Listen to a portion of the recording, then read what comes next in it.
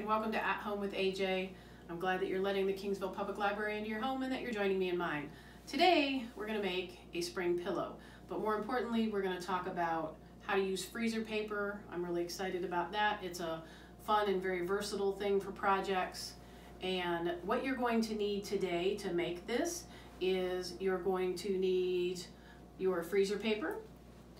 You're going to need some needle and thread, you're going to need some pom-poms for your bunny tails. You're going to need either scissors or an X-Acto knife. You're going to need some spring colored paints or whatever kind of paint you would like. These are simple little acrylics that you can buy for about 50 cents a bottle at Walmart or Joann's. You're going to need some foam brushes. You're going to need a hot glue gun, um, it's nice if you have a heat tool or a hair dryer, either one will work. You will need an iron and you will need a piece of cardboard. You will also need some sort of template for your bunny unless you're really talented and can do it by hand. Uh, you can use a cookie cutter, you can find pictures on the internet or even something out of coloring book. So you have a couple different options as to what kind of pillow you want to make. Uh, this is actually an envelope style pillow that they call it, and it just has a little pillow form inside. You can make one of those. I'm not going to show you how to make that today um, because when it comes to sewing, I'm kind of a hack. There are wonderful YouTube videos out there. All you have to do is search the word envelope pillow and somebody that is way more talented and a much more proficient sewer can show you how to make one of these envelope pillows. The other option that you have is um, these are actually, I'm not sure if they're placemats or they're cloth napkins, but I've had them for quite some time. They've been hanging around. I haven't been doing anything with them. And so I decided to make them into pillows. So if you wanted to, you could simply sew these together with a simple needle and thread. You don't need a sewing machine. Um, if you have one, you can do that and simply stuff the pillow or again, you can make the envelope style with the insert inside. So we're going to be working with freezer paper today, which is a very versatile craft item. We are going to actually be making stencils from the freezer paper, and this is a great thing to do to make a pillow like we're going to today, or if you have, especially if you have young children and they maybe get a stain on their clothes, this same stencil principle that we're going to use, you could use to kind of hide that, or just to make really cool shirts. So hopefully you've got a template that you either got from a coloring book, got off the internet, cut it out, and you're actually just gonna put it down on your freezer paper. On the paper side, there's actually a kind of a shiny side and a waxy side, and then the smooth side. You're gonna trace your image onto the smooth side.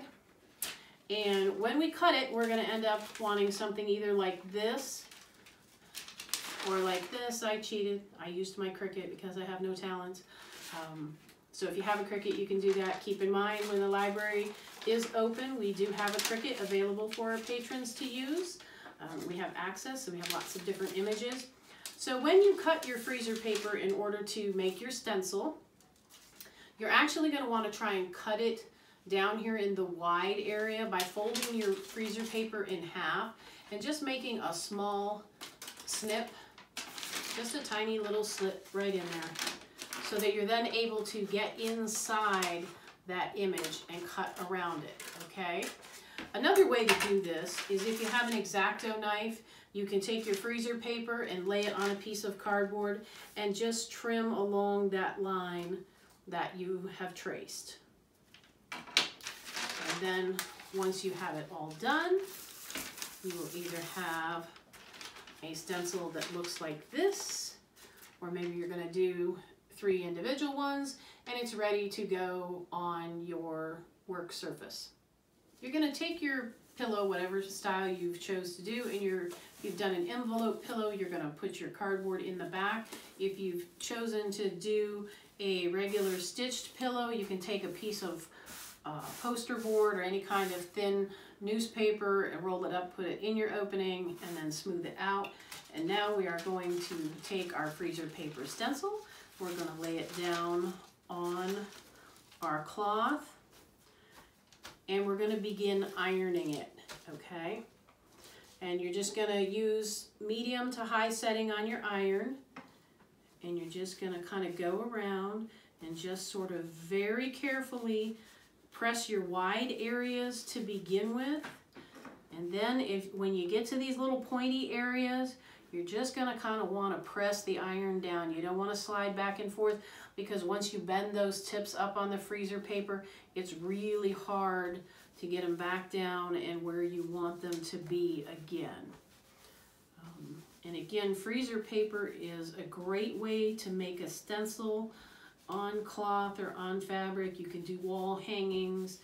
Um, again, you can you can make t-shirts with them. You can you can hide imperfections if you have clothes that are stained.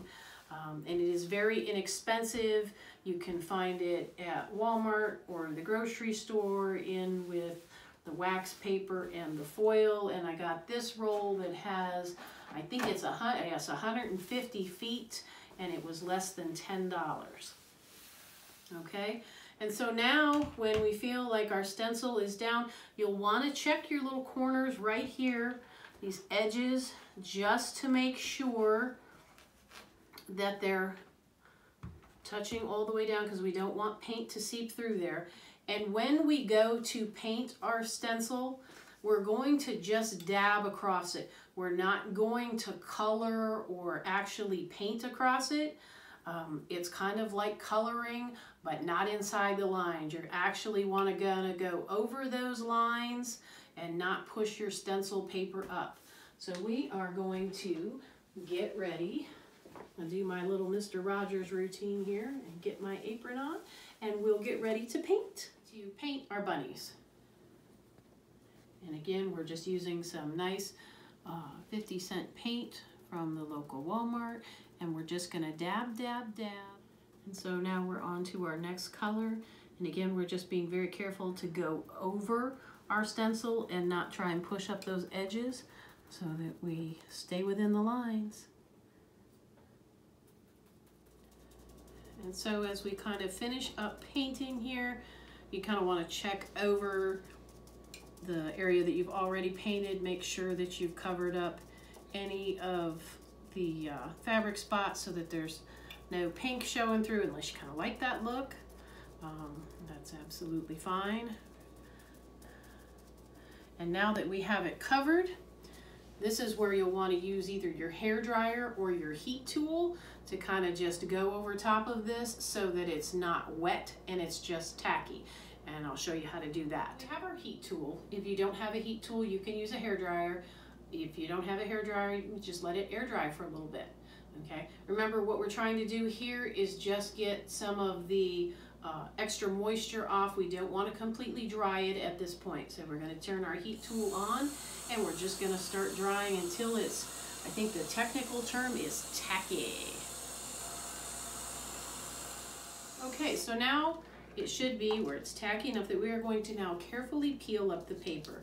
And before you do this, you kind of want to just check your edges to make sure there's not any little puddles of paint along the edge in case you kind of fold over onto your fabric. And you're going to just want to gently pull this up nice and easy. Um, and sometimes if you've got somebody else at home that can kind of give you a hand holding down your fabric, that's always helpful. And we just pull our freezer paper up. We're lay that right over there. And now we have our stenciled bunnies. And we're just gonna let these go ahead and air dry, or if you're in a hurry, you could use your heat tool um, but once they're dry, we'll do the next step. So now it's time to put on our little tails. So we're gonna grab our pom-poms and our hot glue gun. Remember the rule about the hot glue gun, you always wanna leave it right side up. Don't lay it on its side, otherwise the hot glue melts into the innards of the glue gun and kills it. So we're just gonna take a little dab of glue on the back of the bunny and put his tail on. Now, if you're thinking that you're going to need to wash these pillows rather frequently, and you're afraid that your pom-poms won't hold up, you can always get some little pieces of Velcro and just Velcro your pom-poms on so that you can take them off and on in order to wash this. The paint will hold up in the wash. I have done this on shirts and tablecloths and they have washed multiple times very well. I'm breaking one of my own rules because I'm also grabbing the spider webs of the glue gun and you're not supposed to do that until your project is dry. So resist the urge to pluck those spider webs. So now our tails are on and we're ready to put our pillow onto the form. So we'll take our pillow form. Um, you can buy one of these at the store. You can use a throw pillow that you already have on your couch. Or I made this one, it's actually from a sheet that my dog destroyed. Um, so rather than throwing it out, because it was fairly new, um, I saved it. You just sew around in a square, stuff it full of, um, if you have pillow stuffing, that's great. If you don't, you can shred some old clothes. And we're just going to go ahead and fit our pillow into the back of our envelope style pillow. If you chose to make just a standard square pillow, you're gonna go ahead and stuff it at this point and then sew it closed.